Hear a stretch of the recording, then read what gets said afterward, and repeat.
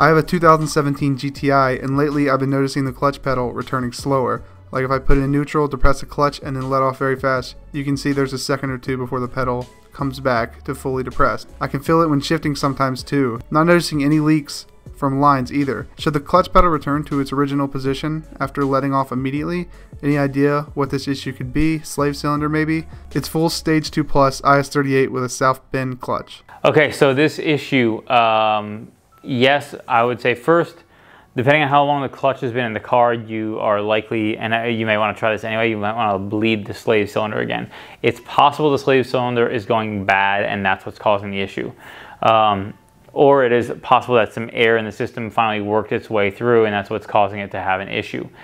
The other thing is something that we've talked about recently, but something that I haven't done anything publicly yet with, which was issues around what's called crank walk. Um, I am going to publish a video all about it. I did a long poll about it to try to get more details of how prevalent it was with different people and all kinds of stuff like that. So I'm hesitant to say it's crank walk related in terms of uh, lateral crankshaft movement. There's thrust washers in there. They can wear over time and then potentially fall out and it causes lateral movement in the crankshaft. So when you're pressing the clutch, it what, what's actually happening is the crankshaft, the engine is moving.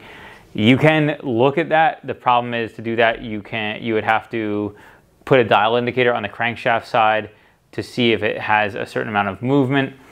Um, that is something that you might want to consider, and uh, you know, is something to look at as a potential cause if that's a problem. So, uh, I would bleed start by bleeding the slave cylinder. It could be slave cylinder related.